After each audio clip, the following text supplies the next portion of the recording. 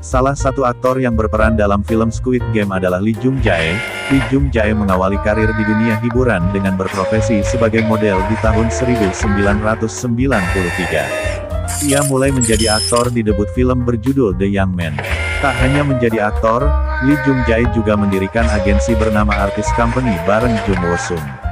Agensinya kini menaungi aktor ternama seperti Esong, Park So Dam, Kim Ye Won, Shin Jung Keun, Choi Hyun, dan Yoon Jung Ah. Berikut adalah profil lengkap Lee Jung Jae yang berperan sebagai tokoh utama dalam serial Squid Game. Nama panggung, Lee Jung Jae. Lahir di Seoul. Tanggal lahir, tanggal 15 Maret tahun 1973. Pendidikan, Universitas Dongguk. Pekerjaan, aktor, model. Drama series yang diperankan Lee Jung Jae di Squid Game Netflix 2021 sebagai Seong Gi Hun.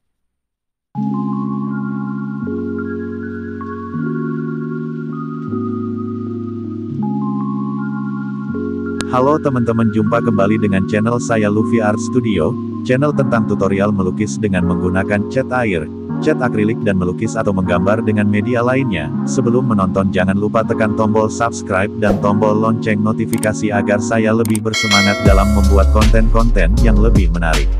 Oke teman-teman pada kesempatan kali ini saya akan melukis salah satu aktor dalam film Squid Game. Dia adalah Lee Jung Jae. Salah satu aktor yang berperan dalam film Squid Game adalah Lee Jung Jae.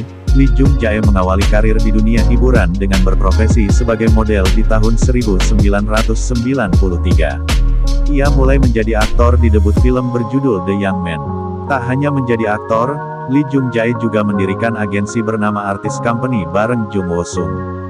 Agensinya kini menaungi aktor ternama seperti Esong, Park So Dam, Kim Ye Won, Shin Jung Keun, Choi Hyun, dan Yoon Jung Ah.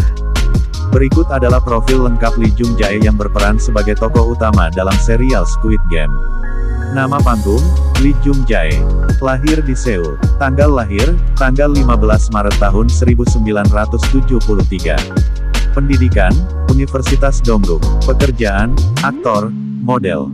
Drama series yang diperankan Lee Jung Jae di Squid Game Netflix 2021 sebagai Seong Gi Hun.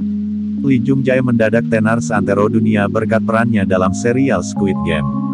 Melihat kesuksesan tersebut, Lee Jung Jae berharap lebih banyak lagi konten Korea Selatan yang akan gemparkan dunia di masa depan. Dirilis satu bulan yang lalu, Squid Game menjadi drama thriller tentang game show mematikan yang mempertandingkan 456 peserta dalam 6 permainan anak demi uang sejumlah 550 miliar rupiah. Drama ini sukses di 50 negara dengan menjadi tontonan nomor satu di platform streaming. Melihat proyeknya menjadi fenomena global, aktor Lee Jung Jae mengaku cukup terkejut, namun, dia bersyukur karena bisa mencapai kesuksesan sekelas kemenangan Parasit di ajang Oscar dan ketenaran BTS di industri musik mancanegara. Ada banyak faktor yang mempengaruhi kesuksesan ini, ucap Jung Jae. Memang sudah ada beberapa film dan serial yang bertema permainan bertahan hidup sebelumnya, tapi keunikan Squid Game terletak di elemen permainan anak yang memicu nostalgia di Korea Selatan dan terkesan segar di belahan negara lain.